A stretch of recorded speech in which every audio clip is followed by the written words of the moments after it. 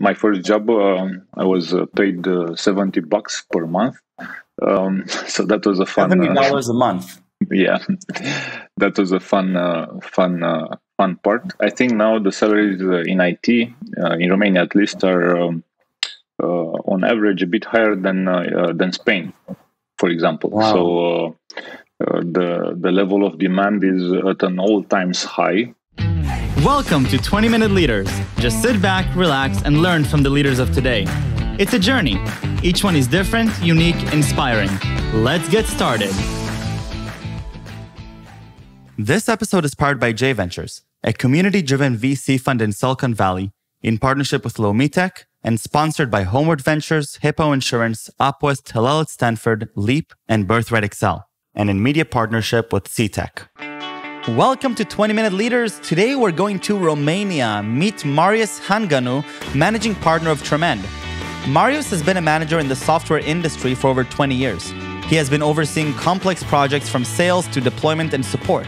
He serves as the managing partner of Tremend with a focus on operations and shaping the organization to become a top software Romanian provider, and he's well on his way. Meet Marius. Marius Hanganu, welcome to 20 Minute Leaders, all the way from Romania. How are you? Uh, good. Nice to meet you, Michael. Good to be here. It is nice to meet you too. I'm looking forward to hearing both about your journey and also about the Romanian ecosystem and, about this idea of software development as a service. Uh, you're the managing partner of Tremend Software Consulting. I believe over the last 15 years, you've done more than 700 projects worldwide, uh, which is an unfathomable amount of projects. And, and I'm sure that you've learned so much about you know software development its challenges outsourcing and and and how how th- these types of, of companies interact with with the living living and breathing r&d world. So marius maybe walk me through your own journey within romania and and how you end up understanding that what you want to be doing is creating this software development consulting service. Absolutely. Uh, my pleasure. So um, um, i think i had my first uh, computer around uh, 10 or 11 years old and uh, i got hooked to it. I mean uh, you know uh, following uh, algorithms and uh, and implementing and making the whole machine work was something that somehow fitted my profile. My profile being again uh, from even earlier, uh, as you know, I was uh, dreaming of a world where where I could so for example one very vivid dream i had as a child was coordinating a set of drones to fly um, in any uh, i don't know uh, formation and position and explore. Now this is uh, i'm sure you've seen the demonstration with uh, thousands and uh, of drones flying uh, over parades and everything like that. So it's very real. I think we're living amazing times. So um, interacting with uh, computers was uh, one one uh, one thing that uh, uh, you know I I, I enjoyed, and from that point on, you know, the career and um, a strive for excellence, a personal strive for excellence, was something that has has driven me, and that drive, you know.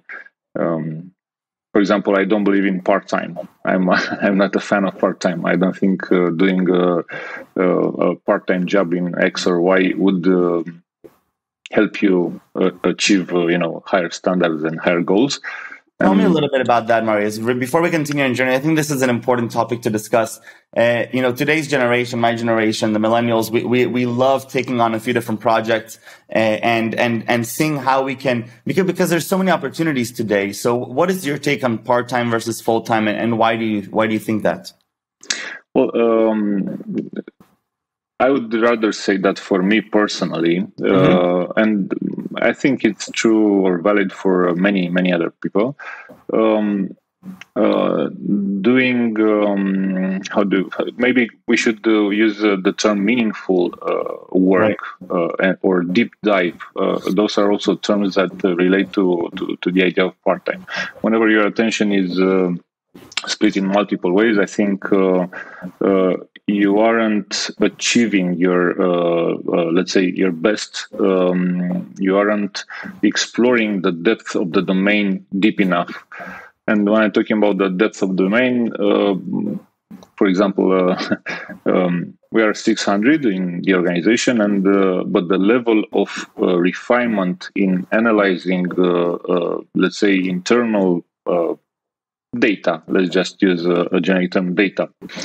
Uh, is uh, to such a high level uh, because of this deep dive, let's say, type of work that I I don't think doing it part time or in, in, any other way would would, would uh, you one would achieve this uh, this sort of uh, of sophistication let's say.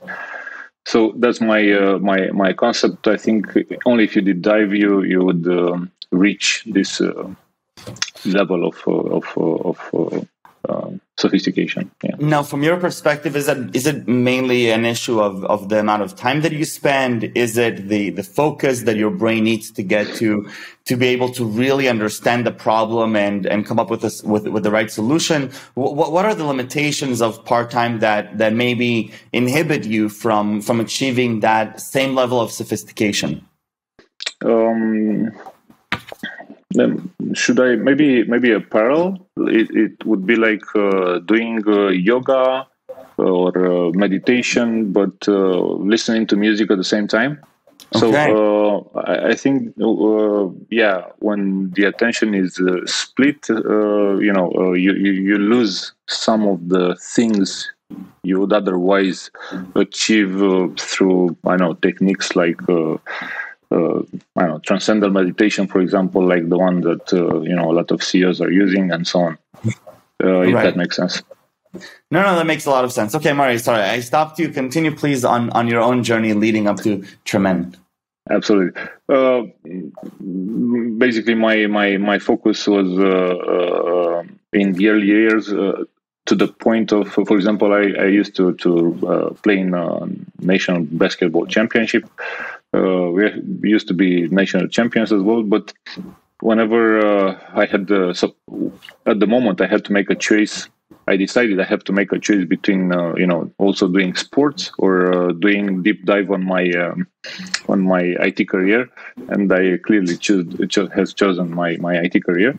Uh, but um, at that time, I felt that that this is a very clear choice should I do this? Should I split my attention in into two? Because trainings with the with the team were taking a lot of time, you know, like every day a few hours, or should I, you know, just uh, go uh, full full head on uh, with, uh, I don't know, learning, exploring, building, uh, and uh, improving myself on, on IT. So that's that's sort of like. Um, the mindset I used to have uh, uh, at that point, and I mm-hmm. still do. So um,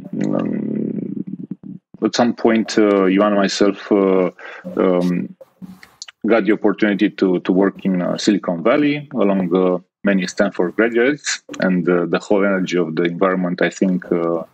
Um, um, infused us with with with a drive and a, a, a need.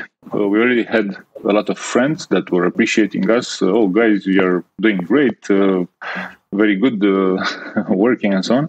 Why don't you start something? So um, I think uh, that was uh, the catalyst, and that's when um, you know the whole thing sparked. And from that point on, you know, with the whole IT market growing and growing, especially in the last year, for example, uh, it, was uh, uh, it was uh, it was quite clear.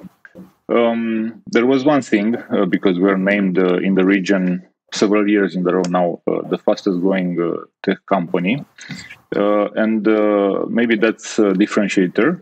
how did we? manage to to to grow so fast so um, that was you know um, that itself is, is a story in which um, we managed to find a recipe on how to um, deliver more more projects and um, um, continue to attract people uh, high quality engineers uh, very top notch engineers and uh, and uh, you know uh, build and deliver on those projects so that was again another challenge and now we're up to this point. So, so two things that I'd like to focus on and, and pick your brain on. One is this, the, the Romanian tech ecosystem. You're starting out in 2006. You're, on, you, you have this conviction that the trend of IT needs is growing Uh, and obviously, you're right because 15 years later, you have more than 400 employees and and, and more than 700 projects under your belt. And the second one is, is really the question of growth. So once you've figured out sort of this recipe and sort of this, how does this thing work? How do you actually manage to keep it growing at a fast pace while keeping the high quality? But let's start with the first question about the Romanian ecosystem and, and what, what are we experiencing today versus perhaps what also was there in 2006 when you started this? Um, my first job, uh, I was uh, paid uh, 70 bucks per month. Um, so that was a fun. $70 uh, a month. Yeah, that was a fun, uh, fun, uh, fun part. I think now the salaries in IT, in Romania at least, are um, on average a bit higher than than Spain, for example. Wow. So the the level of demand is at an all times high. Um, and uh, um, the story is uh, probably quite simple. Romania has a, a, very um, um, I mean, the the Soviet influence or the Russian influence back from uh, from those days, um, mm-hmm. uh, you know, um, pushed us as uh, as um, driving our educational system to to form very uh, technical guys focus on mathematics and uh, other exact science was uh, sciences were were um, a characteristic of, of and are still are a characteristic of the educational system. Um, now, um, our luck, let's say, in the whole story is that uh, uh, we are uh, probably the largest country in the region in in Eastern mm-hmm. Europe, and um, the fact that we did uh, you know, had this uh, push towards uh, the the U.S. and try to to break ourselves from the Russian influence. And fortunately, we're at that point. Um, created a whole culture in Romania, a more, let's say, Western type of so you know people are looking at western models uh, of course there are influences from the region from the balkanic area and so on but uh, the fact that we are uh, very western in mindset and so on and with a pretty big uh, IT labor force uh, helped us being uh, one of the favorite destinations, let's say, in in terms of you know developing IT projects and so on.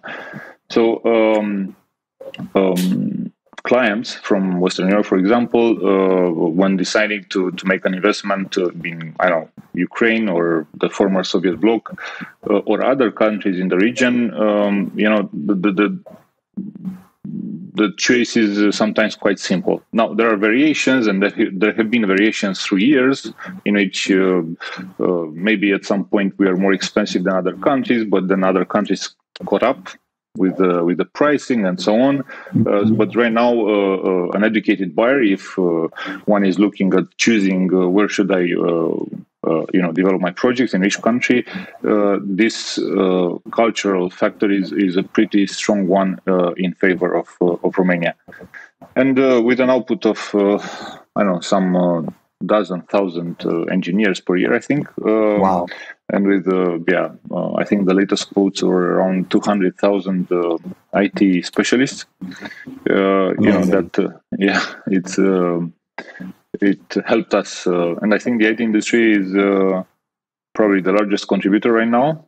Uh, it used to be the second. I think is the largest contributor right now to the GDP of the Romanian GDP. Wow. So tell me a little bit about Tremend itself and how you're how you're thinking through the growth of recent years. So beyond, you know, finding product market fit and, and, and, and finding the right way to work with these different, with these different clients, how do you manage to keep growing at a fast pace to be named, uh, you know, over several years, the fastest growing tech company? That, that used to be, um, um, that, that, that is still uh, and used to be a very big challenge. Um, I think um, um, most businesses are people businesses, not just mm-hmm. uh, the services uh, sector like um, like um, professional service sector like ourselves. Um, and uh, um, for example, um, one of the pillars of this growth was the fact that uh, um, as a uh, culture, our company, you know. Uh, try to to to attract um, also people, not just very good uh, technical, um, you know, experts and so on. Um, especially in the IT sector, where uh, a very good uh, engineer, you know, sometimes, you know, if you spend too much time with the code and the screen, you know, that's where your skills are. So. Um, right. Developing also your human, uh, yeah, uh, interaction skills and so on. It's it's a matter of time where you place your time, you know, and um, uh, yeah, I think uh, that created a, a, bit of a snowball effect. I mean, the, constantly the feedback about us in various polls and so on is that the team is great, that it's very nice to work there and uh, learn from others and so on, and that uh, helped us attract more and more. Uh, uh, on the other uh, on the other side of the uh, on the other side uh, working with clients and uh, having uh, let's say uh, people that it's nice to interact with created the, the, the same kind of effect. I mean clients seeing that okay these guys are good and it's also nice to interact with them. Um, that you know also sparked the, the the demand. And um, probably I'm going to switch to a bit of a bit uh, a bit of a different topic, but uh, probably um, uh, there's a match. Uh, if you've read Ray Dalio's uh, principles and uh, and concepts of radical transparency and so on, I think there's a there's a lot of overlap between the culture that Ray Dalio is describing in his book and what we're doing here. So. Um, um, you know, admitting to the mistake, trying to fix, and having a positive attitude instead of uh, you know uh, masking the error, tricking the customer, and so on, uh, uh created this. Uh, okay, maybe because everybody makes mistakes. Maybe if these guys uh, made a mistake, but they admit to it and they work to it, you know, that that's making things nice and pleasant. So, yeah, that created a, a whole a whole um, you know uh, supply and demand, uh, let's say, uh, stream. And one good news this month, so like one week ago, we had 42 new colleagues joining in one day. Wow! In one 42. day. Yeah, that's. No it's no by no means at uh, you know Accenture level or so on, but 42 is like uh, almost like a, an entire company. So that was very very nice unbelievable 42 new employees in one day yeah. Uh, yeah. no wonder you're named that one of the fastest growing uh, tech companies in, in romania and again i guess in europe and the world because I, I i don't know i don't know how many companies are onboarding 42 42 employees in one day and i, I don't even know how that's possible while maintaining this culture of integrity of excellence uh, yeah. and and it sounds like what you're doing with tremend is, is really is really fascinating and you're and you know your attitude towards the towards building this company in the ecosystem i think is just uh, really inspiring. And so uh, marius i really want to thank you for coming. I have a few more questions about about yourself sure. more and i want to take you back to your childhood. I want to take you back to before you know perhaps in basketball or in sports or anything else. What really fascinated you? What drove your curiosity as a child? Um i think uh, um um, so one of my favorite games as a child was, uh, you know, um, uh, back in those days, uh, uh real-time strategy games uh, weren't hype. there were no computers, you know, that um, so much, and trying to play with with you know armies of uh, various uh, uh, types and you know running scenarios and so on was one of my most uh, deep and intense types of play, uh, playfulness, let's say, uh, a game that I used to play. Um, 20 years forward, I think, you know, that, that or 30 years forward, I think uh, that uh, uh, joy of of playing those games is still reflected in what I do. I mean, I I absolutely love my my job. You know, down to the very last minutes of work. Yeah. and uh, there are more things. Yeah, there are more things, but uh, that's that type of of big play is uh, yeah. Amazing. And so, what, that, that's a great segue to what inspires you today in your daily life, your daily work. Um, I think uh, the the I mean uh, the there was certainly a, a very uh, technical aspect to my uh, formative years. Um, mm-hmm. And uh, I used to be, uh, and probably still am to some degree, very analytical and, you know, sometimes forget the human factor. But as, as you progress through through the age, I think the, the quality of the relations, um, again, following on the principles uh, book of Ray Dalio, the quality of the human relations uh, with uh, with your um, with people around you, let's say, not just co-workers but family as well, is uh, something that uh, creates um, um, uh, a lot of of, of, of reward. And somehow the focus from solving technical problems, which I believe that you know any technical problem can be solved with enough time and so on, uh, uh focused more on the uh, let's say uh, people problem, trying to understand how the mind of of, of my Amazing. colleagues work and how the mind of a social group works, because the dynamics within a group are um, following. Um, I would say similar rules to one individual, but also uh, they have their own rules. Yeah. So that that that type of of, of uh, dynamics and relationships uh, is fascinating me right now. Amazing. And what are three words you would use to describe yourself? Well, um, I think uh, being driven is one of my uh, main um, characteristic characteristic striving for balance uh, so uh, balance is working uh, always uh, is like an, an, alert system that's alerting me when you work too much or you stay too much on one topic and so on and um, uh, somehow this um, mindfulness so uh, deep dive deep dive type of work whenever i go into something i can you know go to the very bottom of uh, of it and uh, still enjoy. Right. You know, I can lose myself in working on one topic. Yeah. Amazing, Marius. Thank you very, very much. This was great. Uh, I really love what you're doing, and uh, and I think there's so many lessons to be learned from your journey. And I really thank you for coming. And uh, stay safe thank and you, stay Michael. healthy.